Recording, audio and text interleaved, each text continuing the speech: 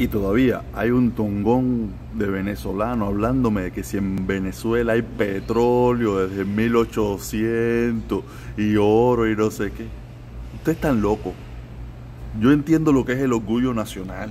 Yo lo entiendo porque yo también lo tengo. Pero cuando me toca hablar de los demás me doy cuenta de que la gente está loca.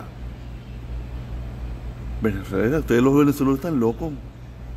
Ustedes lamentablemente, igual que nosotros, tienen un país que se está cayendo a pedazos. La gente tiene que salir volando porque no pueden vivir allá. Y todavía ustedes me están hablando que si desde 1916 el petróleo y que si Venezuela petróleo y que si petróleo y que si petróleo. ¿De qué les sirve petróleo, hermanos venezolanos, si ustedes tienen el mismo problema que tenemos los cubanos y no tenemos ni petróleo, ni oro, ni diamante, ni bauxita, ni tierra, ni gobierno? No tenemos nada.